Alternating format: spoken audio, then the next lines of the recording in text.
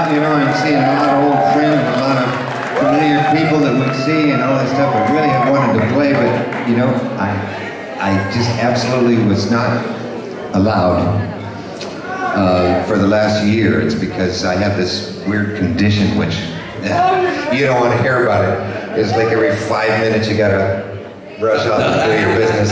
Yeah.